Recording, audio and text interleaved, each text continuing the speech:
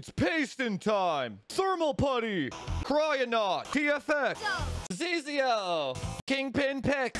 Streamosaurus! Yeah! We're ready to paste into action! Action! Working together to fight overheating, save Intel, And- and all of their shitty products. XOC people pay way too much for me. False advertising. Look out, frame chasers, because we're gonna see which paste is the best.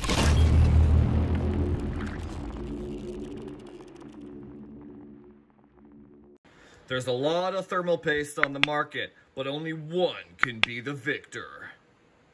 Once again, this video is brought to you by all of these supporters here.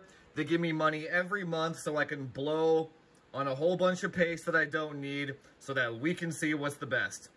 If you want to support independent testing like this, consider subscribing on the website or on Twitch. Join us in the Discord. Come have a merry old time. Links to all these in the description below in case you do want to buy them. And uh, yeah, let's go on. Basically, we're going to test all of these thermal pastes at 150 watts of load, 200 watts of load, and variable load. Whoops. We're also going to check how much each of these cost per gram uh, of paste. So we're going to see which one performs the best and which one is the best bang for buck. Alright, so here are the heavy hitters we got for you today. We got the Kingpin KPX, Thermal Grizzly Kryonaut, the uh, regular version. We got some Zezzio thermal paste. They advertise this as like 14 point something watts per meter Kelvin, so it's supposed to be pretty good. Uh, actually, they make some really good thermal pads. I've been using them a lot in all my GPUs, so newcomer to the scene. We're going to see what happens here. And then we got the Thermalright TFX, also advertised with a really high watt rating. And uh, Kryonaut Extreme over here, the pink stuff. We're going to be using fresh spatulas for each one, no cross-contamination. We're going to be using Flitz polish in between all of the runs on both surfaces so that none of the old paste is going to contaminate the new paste, right? So fresh spatulas, fresh surfaces, no contamination. All right, we're to get started with Kryonaut Extreme first because I actually already just put that on there. So we're to get started with this one first. Okay, so our test subject for today is to be this DeepCool Castle 360 and a 10900K with a Rockit Cool Copper IHS. So the trick with this kind of testing is we want to make the actual thermal paste the lowest hanging fruit of the thermal transfer between the, the, the heat, right? So with the Rockit Cool Copper IHS, it's delidded with liquid metal behind it on a 10900K. Maximum surface area. This is quite a bit larger than the stock IHS. Both surfaces are lapped, so there's going to be perfect contact there, right?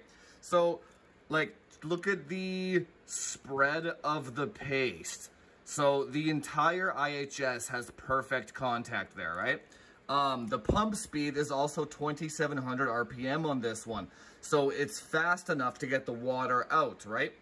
Basically what you're trying to do is you're trying to minimize all the other variables in the equation except the thermal paste, right? So when actually doing the variable spike testing, how much of the spike will be able to be absorbed will come down to that paste. If you use a regular 10900K or like a 12900K or something, like something stock, um, the lowest hanging fruit will actually become the solder inside of the uh, IHS, right? So that's why this route is much better for thermal paste testing. Quick interjection here, it's the next day, but we are not going to be using liquid metal today just because the surface of the IHS and the pump are both copper. And when you use liquid metal on two copper surfaces, it's just a nightmare to deal with. So we're not going to do that. We're going to save that for another video for another day when I have a custom loop and like a nickel plated block. Then we'll see thermal paste versus liquid metal. But for today, we're going to leave that out just because I don't want to lap the surfaces again. Okay, so we're at 16 minutes here, 15 minutes, whatever. Uh, steady load at 150 watts, and the package temperature is at 67 Celsius for the Kryonaut Extreme. Okay, so now we're to reset this, and we're to click variable instead. So now we're to do 150 watts variable. Then what we're gonna do is we're gonna open hardware info, right, after we launch this, and then we're gonna look at the maximum package temperature that the CPU core will hit. This is the field that we're after here. CPU package, maximum field. So as OCCT does its variable load, the load is gonna look like this, very sine wavy, right? So the paste will show us how much of that load it can absorb at the max, right? So let's run this for 15 minutes and then we'll come back. Okay, 15 minutes on variable here, and the maximum temperature recorded was 74 Celsius. So that's a 7 degree Celsius temperature spike that the Kryonaut Extreme could not deal with. Okay, we're 50 minutes in and we're doing 200 watts steady. And the temperature on the package is 81, 82 Celsius on there, somewhere around there. So those are the results for Kryonaut Extreme. So let's move on. Okay, next up, we'll just go from right to left, I suppose. So let's go throw on this uh, Thermalright TFX stuff and then see how that performs. So this Thermalright stuff is actually pretty, like, I don't know how to describe it, thick and dry. Like, it doesn't apply the same as the Kryonaut. And, uh, like, the Kryonaut is quite liquidy. And this has a pretty distinct smell to it, so, uh, you can definitely tell that whatever compounds they're using is very different. Because it's so thick, I'm trying to put a lot of pressure on it to make the layer like as thin as possible because if it's this thick, I'm not sure if it's going to be able to squish out effectively, right? So we're just leaving the AIO pump and the fans at maximum here, 2700, uh, 1800 on the pump, just because, again, don't make the AIO the lowest hanging fruit, right? All right, so here are the results for the Thermalright. We got um, 3 Celsius hotter at 200 watts there. So that's going to be an L for the Thermalright. Next on the list, we're going to be trying out this uh, Zizio stuff. Okay, this stuff feels, looks, spreads, and smells exactly like the Thermalright stuff. So I'm going to go ahead and assume this is just a Chinese knockoff of the Thermalright stuff. Oh yeah, look at that. It's actually holding at 66 Celsius, 15 minutes in. Oh, it hit 65. So it's actually, it's actually like a degree and a half better than the Kryonaut Extreme. That's actually kind of wild. So it looks like we got a winner here. So we're doing small, uh, 200 watts here, and it's holding at 81, 82 right? So it performs exactly the same as Kryonaut Extreme, but it's on sale for seven bucks right now, which actually puts it at $3.50 per gram. So it's like one, it's, it's a third of the price of Kryonaut Extreme and performs exactly the same. There you go. So, so far, the Zizio is the GOAT. It doesn't perform any better, but it's a third of the price. Don't forget those affiliate links down below, boys.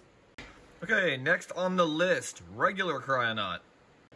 All right, we're at 15 minutes and we are at 69 Celsius for the regular Kryonaut. So that's actually 3 Celsius worse than the Zezzio one. Zezzio? Zezzio? Oh yeah, so even on variable here, 77. So about 3 Celsius hotter on all the numbers.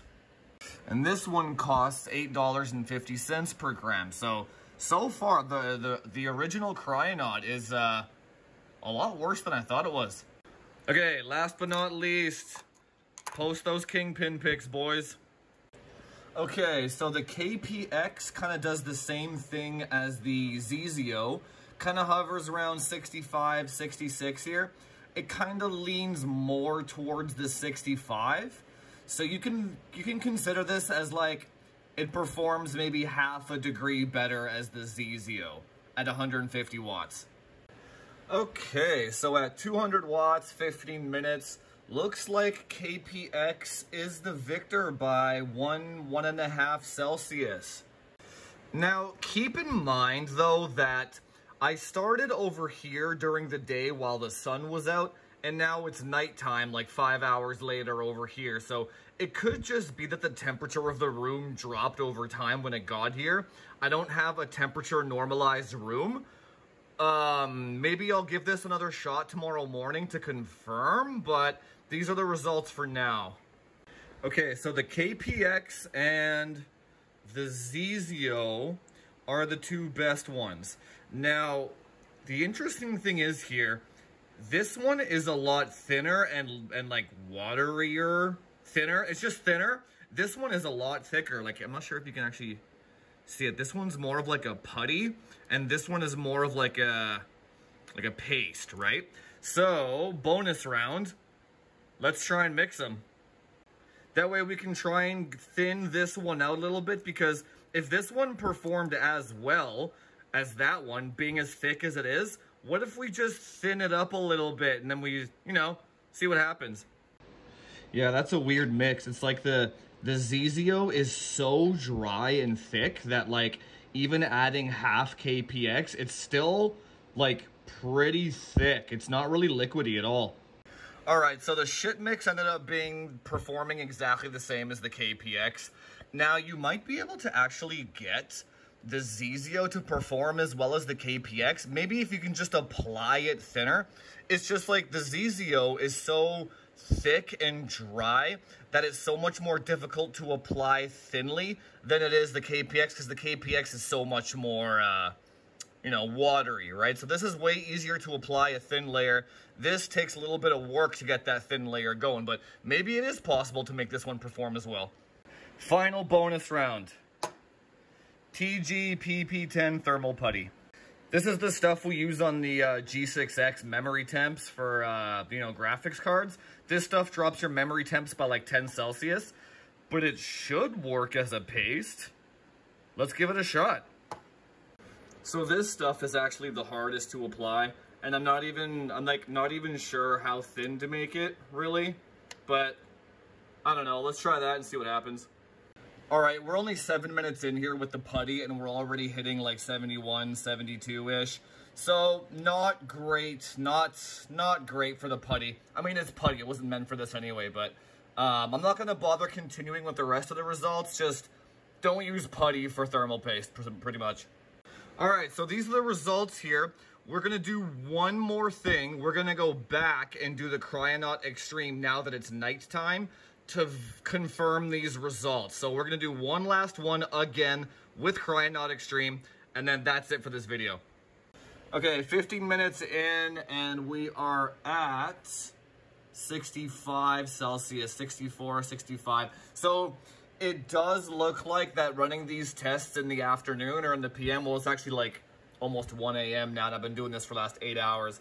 But the temperature difference of the daytime versus the nighttime was the factor here. So I'm going to complete these ones to confirm it, but it seems like KPX and Kryonaut Extreme are the exact same. Okay, yeah, 16 minutes. We're at uh, 80 Celsius here, 79, 80. So Kryonaut Extreme and KPX are identical. So let's go over to the chart here, and then we'll do a conclusion of which paste won today's test. Okay, so it ended up being the Kryonaut Extreme and the KPX actually had the best temperatures by about 1 Celsius. The ZZO was trailing behind by 1 Celsius. But, look at the pricing. The Kryonaut Extreme is $9.50 a gram. KPX is much better at $6 a gram. The Zizio right now is $3.50 a gram. So Thermal Grizzly is just milking the shit out of you guys if you're buying this. Don't even bother with it. This is like, why would you pay triple the price for one degree? At least, at least KPX I think is a fair price here. $6 a gram, sure. But the, yeah, this is, the winner for today is going to be the Zizio. Also, shout out to, uh, I think, Paver or Pavir he was a supporter that actually requested that I test this one. I didn't even know this existed, but he requested it, and it actually ended up being the winner. So, just goes to show you, you need supporters to suggest things because I can't keep track of every product, right? So if you want the absolute best performance and you're not afraid to spend a bit more money, get the KPX, I suppose. And if you're just uh, a smart buyer, get the Zezzio. Now, the, the final thought here for the shit mix was the shit mix performed the same as the KPX and the Kryonaut Extreme. So if you can somehow find some way to make this thinner and not as thick, like, I don't know how you would do that, like, you know what I mean? But if you can get this thinner somehow, it will perform as well as the KPX, which is what the shit mix was. Anyway, guys, that's it for this one. I hope you got some value out of this video. If you like the content, hit that subscribe button, do all that YouTube SEO stuff, like, share, subscribe. Leave your comments down below what thermal paste you guys use, and I will see you in the next one. Talk to you later.